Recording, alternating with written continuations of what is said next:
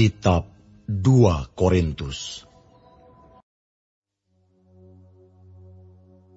Saudara-saudara, kami hendak memberitahukan kepada kamu tentang kasih karunia yang dianugerahkan kepada jemaat-jemaat di Makedonia.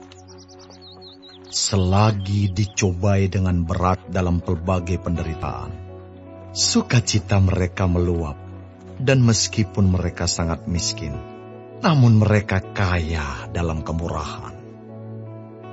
Aku bersaksi bahwa mereka telah memberikan menurut kemampuan mereka, bahkan melampaui kemampuan mereka.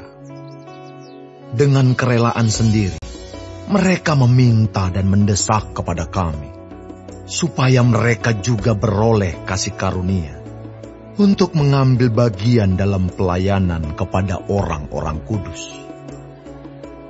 Mereka memberikan lebih banyak daripada yang kami harapkan mereka memberikan diri mereka pertama-tama kepada Allah, kemudian oleh karena kehendak Allah juga kepada kami.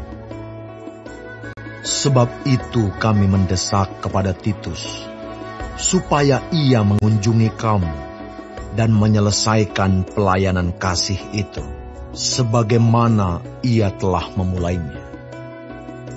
Maka sekarang sama seperti kamu kaya dalam segala sesuatu, dalam iman, dalam perkataan, dalam pengetahuan, dalam kesungguhan untuk membantu, dan dalam kasihmu terhadap kami.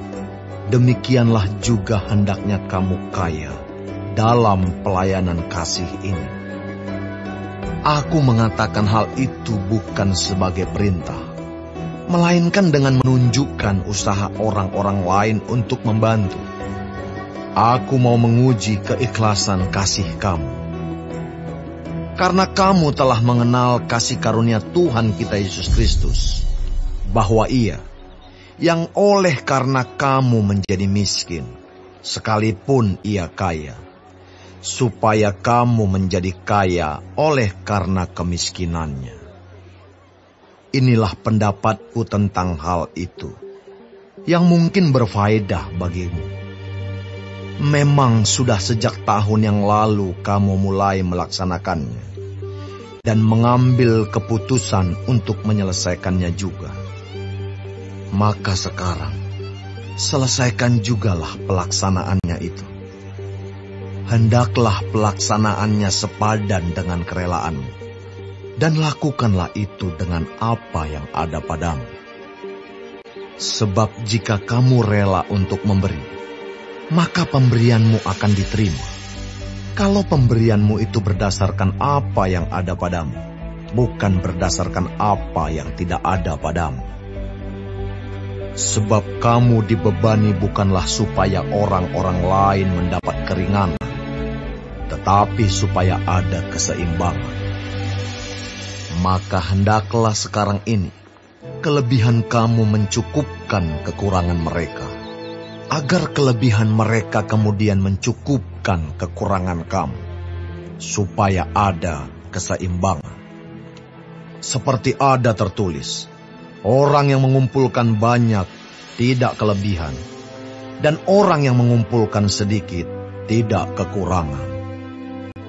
Syukur kepada Allah yang oleh karena kamu mengaruniakan kesungguhan yang demikian juga dalam hati Titus untuk membantu kamu.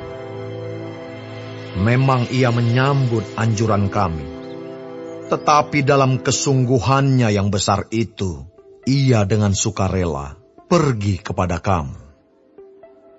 Bersama-sama dengan dia, kami mengutus saudara kita yang terpuji di semua jemaat karena pekerjaannya dalam pemberitaan Injil.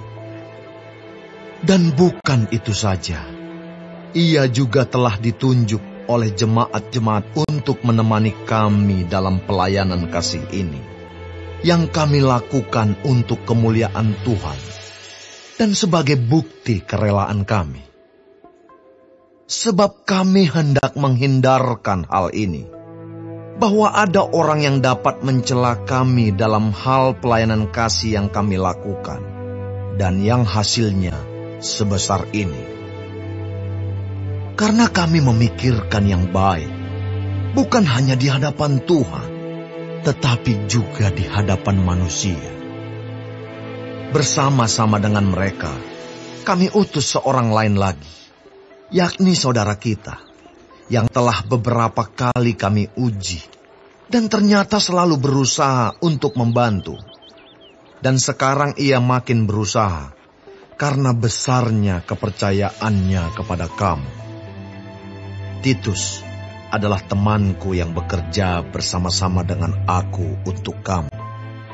Saudara-saudara kami yang lain itu adalah utusan jemaat-jemaat dan suatu kemuliaan bagi Kristus.